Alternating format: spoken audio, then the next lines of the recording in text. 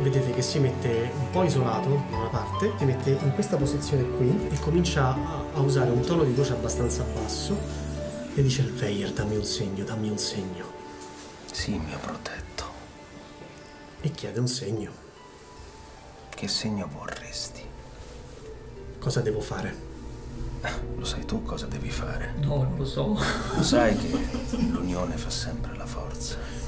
Damias ha come un brivido, guarda Yarravel e va, va tanto così dal suo viso, lo guarda negli occhi e gli fa quel dado non funziona, tu devi venire con noi, è chiaro? Non ti devi allontanare.